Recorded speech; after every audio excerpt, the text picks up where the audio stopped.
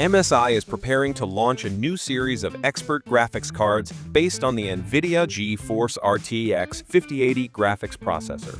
The key feature of these models will be a dual-sided push-pull cooling system inspired by NVIDIA's Founders Edition design. MSI has redesigned the visual style of the Expert cards, emphasizing golden decorative elements and changing the design of the cover.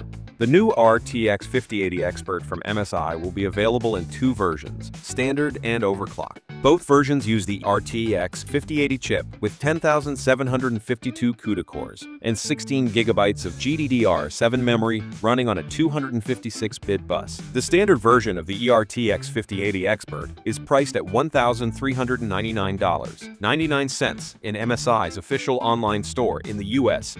In the future, MSI will probably expand the Expert line to include other graphics chips.